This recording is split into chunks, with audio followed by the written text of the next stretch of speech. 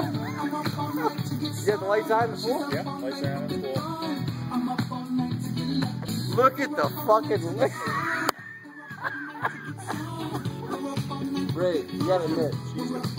Is, is this alright? Dude, this laser has been the, the fucking party central forever. Now, do you have to take that in at nighttime? The weather? I, I just, no, I mean, do doesn't do well with that. you have to bring it in. Yeah. Mike, we need to, we need to load it a little bit. I don't want it shooting in the neighbor's yard. All right.